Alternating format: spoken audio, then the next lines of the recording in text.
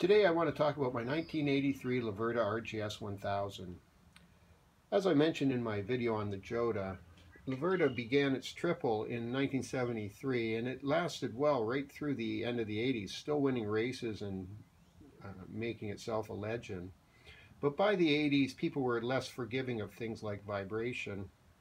And Laverda decided to make a major change in the motor. So instead of a 180 crank, that's been on all the previous triples, meaning that the outside two pistons rise and fall together while the middle piston is 180 degrees opposed to it.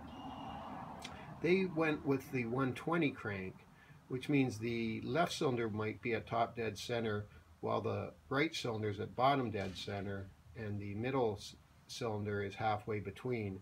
That's like every other triple that's ever been made. Nobody else has ever copied the 180 arrangement.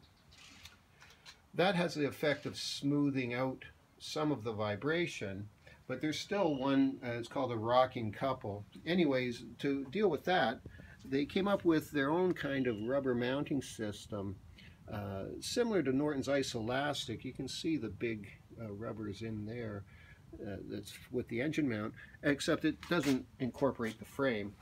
And they did a lot of styling changes as well. You can see that it's got many of the same Italian parts that we've noted before. There's Brembo rear brake and caliper. These are drilled. Uh, Laverda's own mag wheels. Uh, this is the first version of them and Brembo's on the front. Marzocchi forks.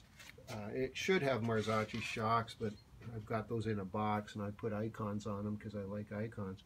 But there's a lot of unique bits too. Uh, that they've changed with the engine. For example, on the Jota, the alternator and ignition is out in this uh, part of the cover. For this model, they changed that, so there's a, a uprated alternator in there, and the ignition is now over here. You can see when you look at the engines that there's a difference. And it's made the engine a little narrower, giving more ground clearance on the right-hand side. They also did this with the foot pegs. So you see that screw and a nut down there. If you loosen those, that whole foot peg rotates in a circle. So you can put the foot pegs up or down or further to the front or further to the back. And it all just kind of works together. Uh, that's on both sides, of course. Then there's this uh, plastic material here. They created their own. It's called Bayflex. So it's it's very flexible. The color is baked right into it, so it never fades. This is all original from 1983, and just look at the quality of that. It's, it's like brand new. Now on the fairing, I've got these extra hand bits to protect uh, the wind uh, from your, your hands. It makes the fairing a little bit wider but uh, they had a model called the Executive, which also came with suitcases that clipped onto the back here. This isn't an Executive, that was a different model, but they're very similar, so uh, this one has just the hand bits. And you can see the dash is much more automotive. I Someone was telling me it's from a Fiat, I don't know which model though, and I've put the hand warmers on there, that's why the Oxford thing. It also has a hydraulic clutch, which was a first for Laverda. They had a reputation for having a very heavy clutch. I don't think this hydraulic clutch improved it at all. And one of the most interesting things about this bike is if you look at the gas tank, there is no gas cap. And I have fun at shows asking people to try to locate it, and they think it's going to be in the seat. Actually, that rear seat cowl comes off, and then it's a dual seat for a passenger.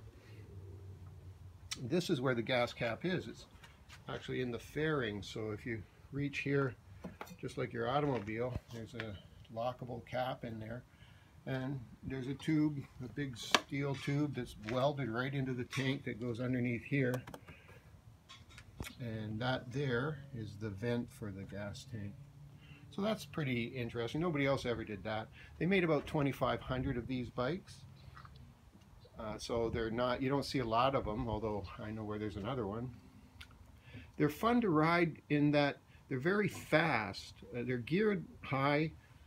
Uh, first gear is high. Uh, fifth gear is high. When you're on the highway, before you know it, you're doing 85, 90 miles an hour. So they're just not legal around here. I guess they were really good in Europe for, you know, the Autobahn and so forth. But for a Canadian rider, they're just plain too fast. They want to be going at 85, 90 miles an hour. So often I'm riding in fourth gear, but that just doesn't feel right either. Um, it's a tough bike to ride through town because it's tall and heavy. But if you get it out onto a road where you can let it let it loosen its legs, it's like an all-day rider. That seat is super comfortable. The riding position is comfortable. The wind is off of you with that fairing, and it just wants to go. Uh, sweepers. It, it does everything well, and with a passenger on, you don't even notice there's a passenger on. I guess that's about all I want to say at the moment about the RGS.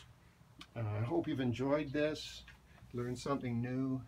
Thanks for thanks for watching, and I'll see you next time.